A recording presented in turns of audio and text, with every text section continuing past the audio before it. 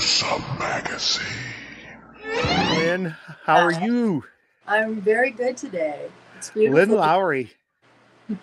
I can't believe I'm talking to the one and only Lynn Lowry. This is amazing. Thank you. so, we're here mainly to talk today about your current release, which is out now from Breaking Glass Films called A Halloween Feast. And oh my God, Lynn, this movie. Wow. Uh, I, I'm going to call it a dark comedy. Do you feel that that's a, an accurate representation? Uh, yeah, I mean, it's kind of hard to exactly say what it is, but dark comedy sounds pretty accurate. So. so, what did you, when they approached you about this film, what did you think? I'm assuming you read the treatment or read the script first. Yeah. What did you think of this character that they were presenting you with? Well, I, you know, Gil, the director, Gil Bronco, um, contacted me. I'd never met Gil. Someone recommended me through a friend to him, and he just called me up and you know, told me about it, and then he sent me the script, and I, I thought, wow, this is pretty bizarre. um, but I wasn't sure at that point, you know, exactly who that character was that that he wanted me to play. I mean, I my mind always goes, you know, more to the crazy, psychotic kind of, you know, um, people and uh, when I talked to him about it, you know, he said, "Oh no, she she's kind of like Donna Reed, you know, and Leave It to Beaver or Loretta Young, you know." And I thought, "Oh, that's that's very interesting." And then you know the contrast between that character and the killer character was really fascinating to me. And you, and it's funny you would mention that because that's exactly what I was thinking. I was thinking, oh boy, this is like a, a, a Mrs. Cleaver type of character. Only the problem is she actually has a cleaver, so that's a, you know that's that's kind yeah. of an issue for most of the people in this film. Uh, where was where was this filmed? Was this filmed uh, in the states or was this uh, international? No, it was filmed in Los Angeles. Oh, it was great. I mean, it is a, a ton of a, a, ton of bloody fun. I, I, don't know how else to, to describe this. I mean, it's called a Halloween feast, and every the whole film kind of leads up to this dinner party at the end of the film. The Halloween uh, dinner. Yeah. Yes, the Halloween dinner, and uh, I, I, have to tell you, although your character is amazing and you're amazing, Grandma was just killing me. Wasn't she? Yeah, she was. She, yeah. What, what? Who? Who was she, and what was her name? I meant to look her up, and I forgot. But Gosh. boy, was she good in this. Her name, her first name is Mary, and I honestly, I I'm really bad with names. So I, I, am too, and I'm trying to find her in here, and she was so good. And I apologize. I will look it up and put it in the uh, the recording notes here because she's exceptional in this, and, and actually plays a pretty large part. She passed away this past year. Oh, that's seriously. Yeah, she was in her 90s. And, uh, wow. Uh, she worked out with Gil. Gil uh, does a lot of you know workout stuff with people, a trainer kind of in his spare time and he worked with her and helped her and she was you know very lively on the set and everything so we were really surprised and saddened when we lost her she did get to see the film though so i was very happy about that Oh, it just breaks my heart to hear that. But she was so exceptional in this. So what a legacy she left with nothing else, just with this role, right? Yeah, that was the only film she ever did. She was a writer and an artist and uh, a lot of lot of different things. you know. That's a, and uh, uh, Gil, although he he directed and wrote this, I believe, or at least co-wrote it. He also stars in this, right? He's Mark in this movie. Yes, yes. yeah. Is. So he had he has his imprint all over this thing. Mm-hmm. Yeah, yeah. That's great. Got, he's wonderful, Gil. He's one of the most optimistic, charming, handsome, you know, kind people I've ever met and worked with on a set. And everyone on the set, the crew and the cast, everyone just adored him. He was always wonderful. And he looks good in a dinosaur suit. So he's got that going for him. he does. and I know that's going to sound very confusing to anyone who hasn't uh, hasn't seen the movie yet. But uh, exactly. yeah, you know, it, that's also just part of the uh, the madness and the brilliance uh, of this movie. Um, I, I, know in the course of your career you've worked a lot with uh, practical effects, special effects. Were you asked to do anything in this film that was unique that you have not had to uh, uh, do in the past? Um, yeah, uh, on my first day, uh, I had to uh, screw the wine cork screw into her head yes. and, and then pull it out. And I'd never done that before, so that was a that was a brand new thing. And and the funny thing was, we they had like two heads to do it with. Oh, they had three, I think. And the first two, it just didn't pull out right. And um, the third one, you know, everyone was like really hoping it was going to work, you know, and of course I was really hoping it was going to work because I was doing it and I would have felt terrible if it didn't work. But the last one actually worked, and when I pulled it out, it came out with some of her brains and stuff like that. So Everything came out like it was supposed to, huh? it did, yes. I thought for sure you were going to say then, how do I say this without spoiling it for anybody?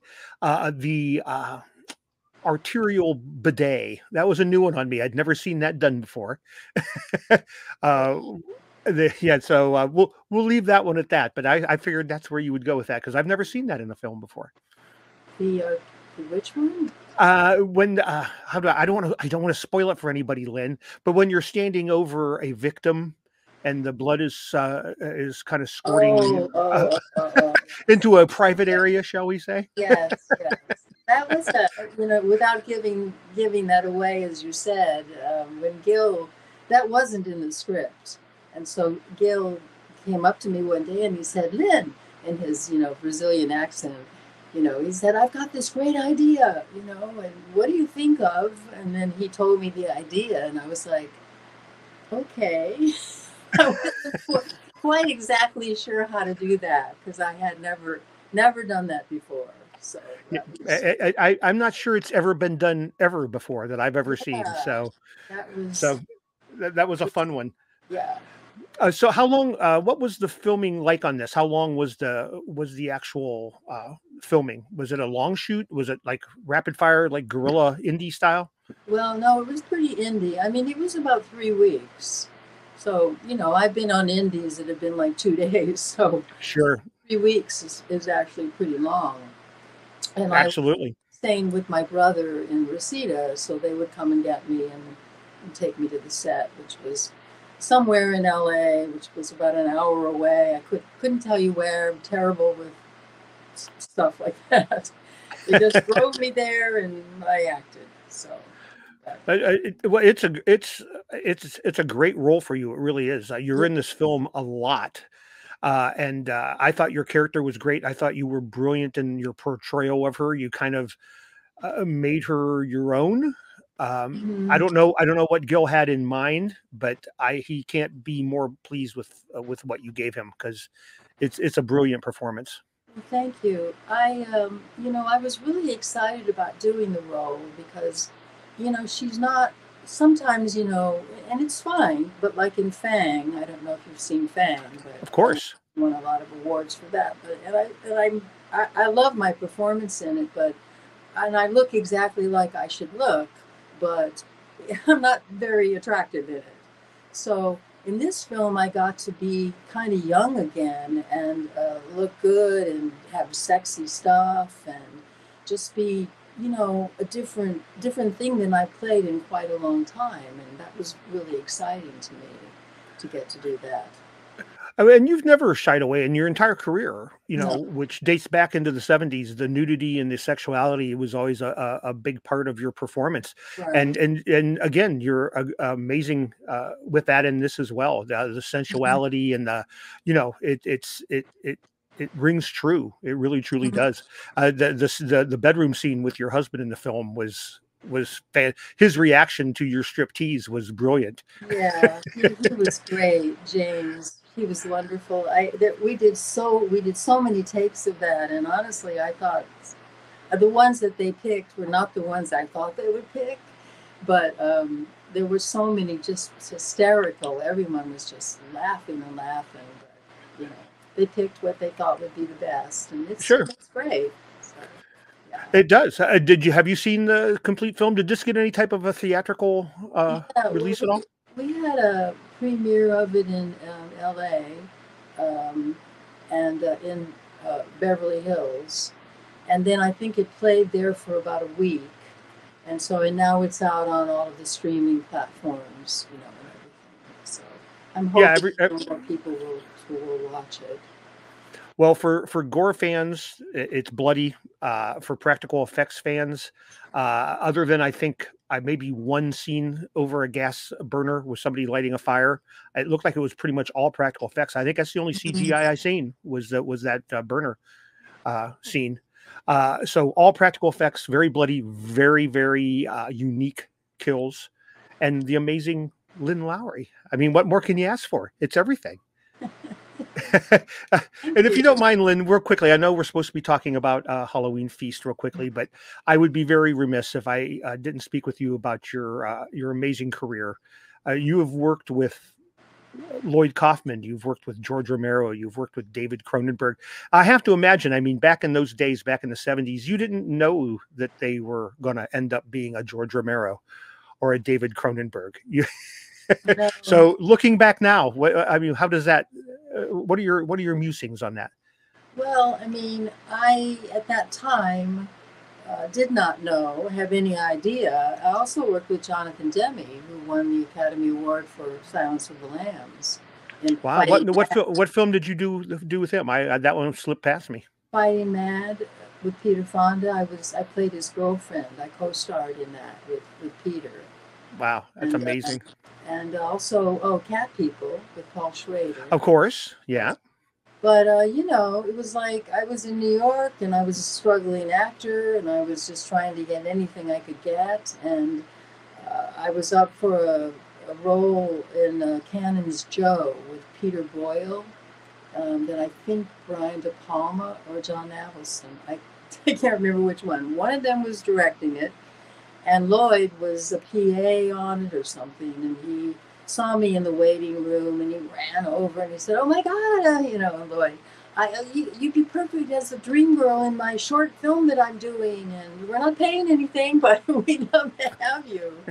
and so that was how I met Lloyd.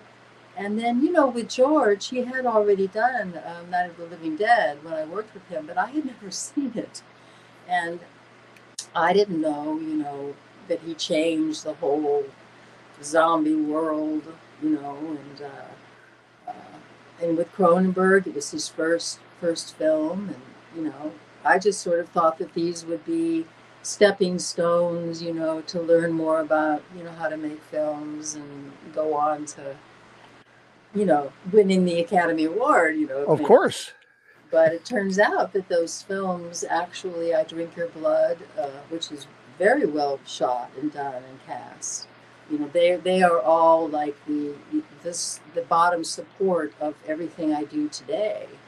I mean, I wouldn't be acting today if it wasn't for those films, and that the fact that they have such a legacy and that people still know them and remember them. So, I'm thrilled I'm in them, and I love them. They're all wonderful, you know, to see. You just have to see them remembering they're in the 70s, and there's Right. a different, you know, different aspect you have to look at them with.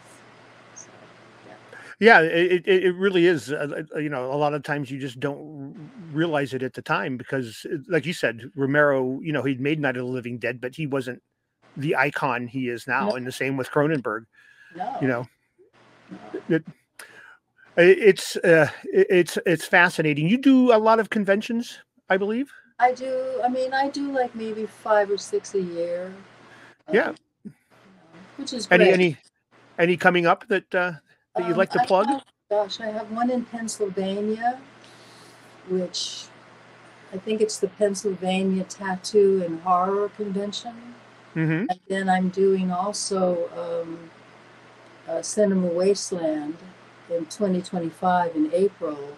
And we're having a little reunion of uh, two of the ladies and me from I Drink Your Blood. It's our 55th anniversary for that. So Rhonda Fultz and Elizabeth Brooks will be there with me for that show. That's am- and that's like I'm in Cleveland, so that's Oh, I mean, yeah, To come by, you know, I Rhonda will- was actually in. She was in In Cold Blood. She has a wonderful little scene where she discovers uh, the bodies, and, hmm and Elizabeth has been in a, a, a couple of other films. So it's exciting to get to see them. We've done Cinema Wasteland once before for the 50th anniversary. So this is oh, that's great. It, it's a great convention. Uh, I wanted to touch on also. I believe this year I looked at IMDb quickly before we started recording, and I think you have you had four or five movies this year coming out. Um, yeah, gosh. Uh, a Halloween Feast, of course, being one of them. Right. Um, Torch of the Flesh is coming out. I know. Uh, gosh. it's just so many of them. I mean, it's amazing how prolific you are. I mean, this is absolutely great. I even seen one for 2025, a short film that it says that you're attached to or working on. Um, I I did 12 film projects this year. Wow. So I I don't remember what so I so busy last year. It's coming out, but you know, but you know, I, I always give a hundred percent, and and if you watch a Halloween feast, I get to do those S and M scenes, which yes, you know, I think I look pretty good in those outfits. I I think you look better than pretty good in those outfits. I'll tell you what. Uh, yeah, so a Halloween feast. It's out now from Breaking Glass Pictures. It's on VOD. Highly recommend you check it out. Uh, such a such a an oddly fun movie. Yes. You know, it really truly is. Lynn, I cannot thank you enough for taking a little time out of your day today to sit and chat with me. My pleasure. Thank you for asking. Absolutely.